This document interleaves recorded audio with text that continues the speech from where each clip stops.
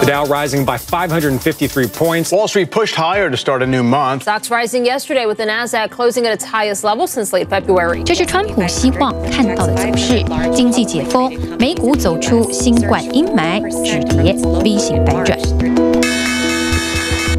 这张他寄望提振选情的股市经济牌，在六月十一号上演黑色星期四，美股一夜逆转，三大指数创三个月来最大单日跌幅，道琼狂泻一千八百六十一点，蒸发百分之七。而突然诱发这一波惴惴不安的是，市场终于认清美国经济现实。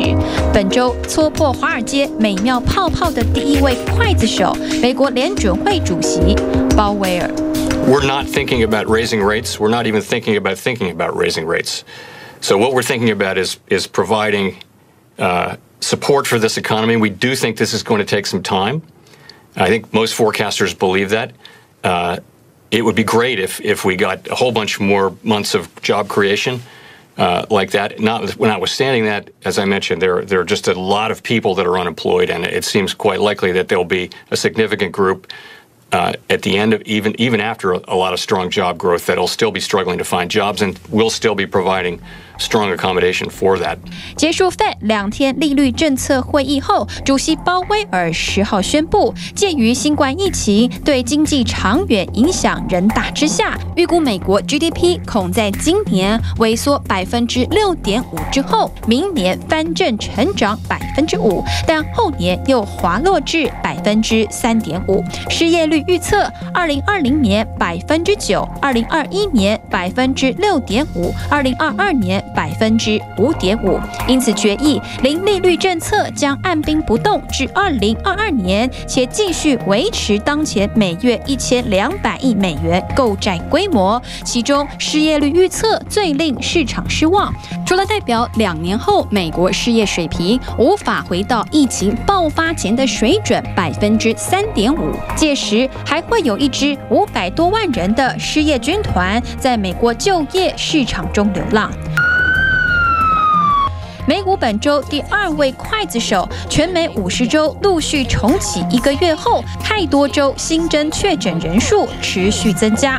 地图上以深浅红色代表的南部及西南部是新增率破百分之十，甚至百分之五十。专家当前最担心的疫情新热点。但纵使美国疫情战争尚未结束，对川普来说，经济重启从选战角度来看，恐怕是。不可逆转，因为全美当行疫情未散，种族冲突难平，经济牌是唯一连任希望。川普财长努勤的这一番谈话就被解读正是这把赌注。We can't shut down the economy again. I, I think we've learned that if you shut down the economy, you're going to create more damage, and, and not just economic damage, but there are, there are other areas, and we've talked about this of medical problems and everything else that get put on hold. I think it was very prudent what the president did, but I think we've learned a lot. And I also would just say the fact that Congress, the House, the Senate responded with the administration in an unprecedented way to put $3 trillion in the economy. 上周，川普因为劳工局公布的就业报告，五月非农就业由负翻正，新增两百五十万份。五月失业率百分之十三点三，在经济重启一个月后随即下滑，一口咬定美国经济已如火箭般一飞冲天。 And now we're opening, and we're opening with a bang. And we've been talking about the V. This is better than a V. This is a rocket ship.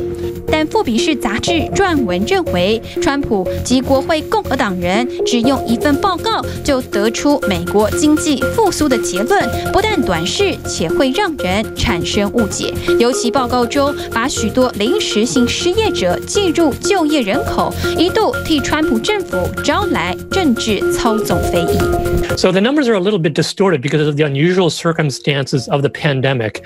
People who are on temporary layoff are supposed to be classified as unemployed. For reasons that we're not really sure, a lot of those people were in fact classified as employed. Now, the Bureau of Labor Statistics is aware of that problem. They told us that if you adjust for that error, then the unemployment rate is actually higher. How much higher? Well, in the month of May, it would have been three percentage points higher. But in the month of April, it would have been five percentage points higher. So, what do we take from that? Well, unemployment rose a lot more in April than we thought, but it also fell more in May than we thought. 说，员工共体时间向公司请假不知心，等待疫情结束再返岗位。受访时表明有工作，只是暂时不处于工作状态，因而被计入就业人口。其实这样的分类错误，劳工部已用报告注脚解释，并未隐匿，称不上操纵。但部内首席经济学家史蒂文森公开用推文对总统的经济吹嘘不表认同。纵使五月就业市场临时性失业复原百分之十五，但永久性失业的增加，这根本称不上 V 型复苏。认为五月就业报告只是代表拐点出现，其他数据表露的是美国经济复苏长路漫漫。Uh, besides the headline number, I was also looking at U6, which includes the so called discouraged workers, folks who maybe are no longer looking for work. Um, that at 21%.